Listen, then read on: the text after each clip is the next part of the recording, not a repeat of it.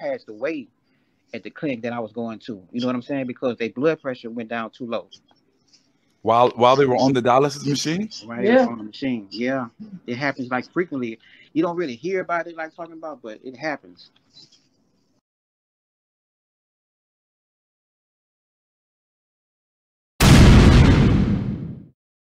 That's right. We're on live. We're gonna get this thing done one way or another. What's up to y'all?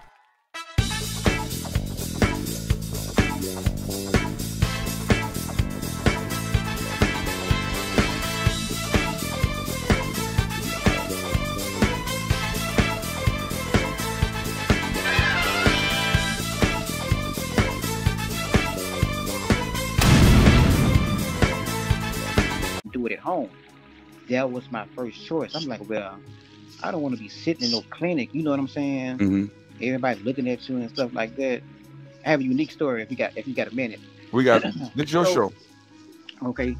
So what I wound up doing was I kind of you know I studied it first to see what it all you know what all it takes or whatever.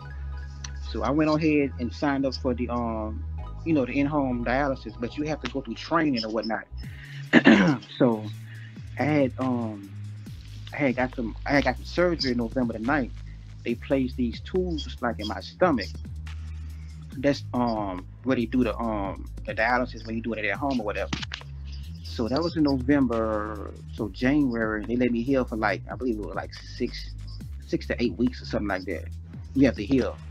So January, I went through training where they show you, you know, the steps and what you have to do at home or whatever.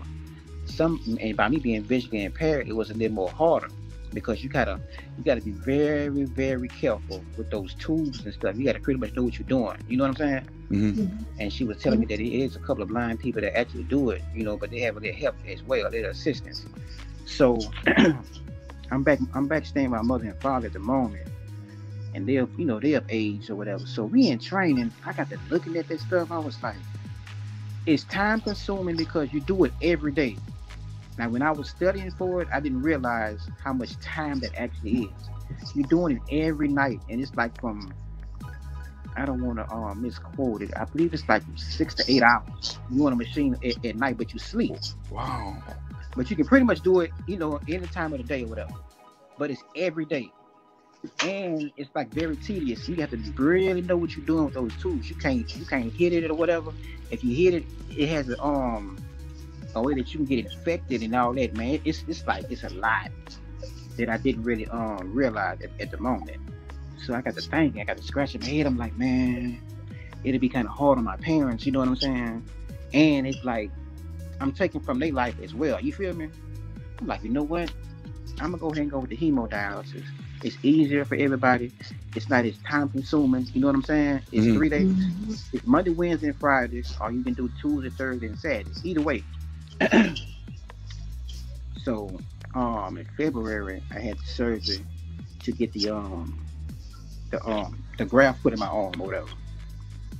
So, from February until June, I was going three days a week up here in Baker Mm. to um dialysis or whatever. Man, it's like it drains you. Um, some days you just, you know, it's it's like it's mentally challenging too. Just thinking about like it's like what today is? Today is Wednesday. So Mhm. I'd have been I'd have been in the chair right now getting sucked off. That's what we call it at the clinic, getting sucked off. Oh my goodness. They clean your blood, but you're getting sucked off in there. You know what I'm saying? Mhm. But um, so all right. well, Ken, can you, Ken, I'm sorry to interrupt you. Can you explain a little bit about the graft? I'm kind of familiar with it a little bit. Oh, Um, and that's the integral part of going to dialysis and being prepared for dialysis. So, could you explain what the graft is? Yeah, I can do more than that. I can show you actually, because the one the, the procedure You that still I have done, it? yeah, the yeah, it stays in your arm even though I'm not on dialysis anymore. Mhm. But the one that I have is like under my skin.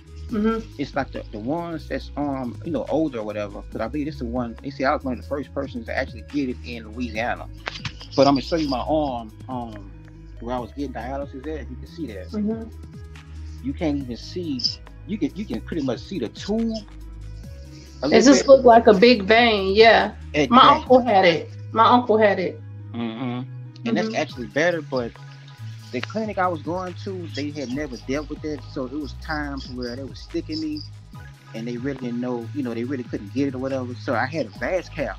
They start you off with a Vas Cath, Mhm. Or whatever, so to, to allow your arm to heal or whatever. So once your arm heals, that's when they start um sticking you in your arm. That lasts for about like six weeks. They give you like six to eight weeks to heal your arm or whatnot Mhm. with the um the Vas Cath and the graft or whatever. But um what that does is it, it takes your blood out, it filters it basically, you know what I'm saying? And it, it puts it back in your body. But if you take too much fluid off your body, man, it's like it's like it's like having a heart attack. You know what I'm saying? It's, it's like putting stress on your heart or whatever.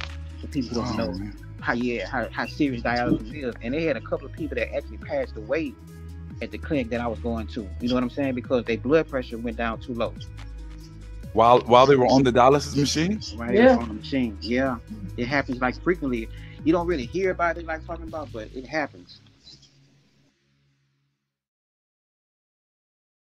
Thank you.